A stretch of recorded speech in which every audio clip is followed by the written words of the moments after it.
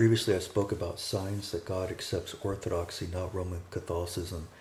I mentioned the fact that the Theotokos appeared to an Orthodox Athonite monk and called the Roman Catholics that were going to invade Mount Athos the enemies of herself and of her son.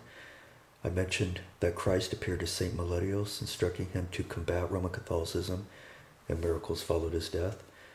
I mentioned that when the new papal calendar was introduced, into the Orthodox Jerusalem Patriarchate, the Holy Fire did not appear, but when the Patriarch returned to the old Julian Orthodox traditional calendar, the Holy Fire also returned. In this video, I'm going to give another sign that God accepts Orthodoxy, not Roman Catholicism.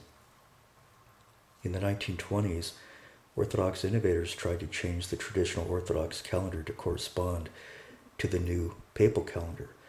But in 1925, September 14, on the eve of the Feast of the Exaltation of the Cross, according to the traditional Orthodox calendar, not the new papal calendar, a miraculous cross appeared above an Orthodox church near Athens. It was seen by more than 2,000 people.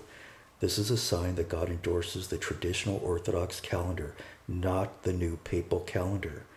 The cross is Orthodox style with three crossbars, with the bottom one angular. These details preclude natural phenomenon.